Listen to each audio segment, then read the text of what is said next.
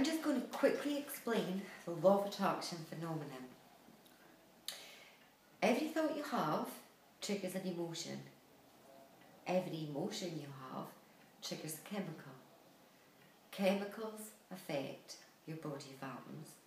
And in the law of physics, atoms attract like atoms or repel unlike atoms.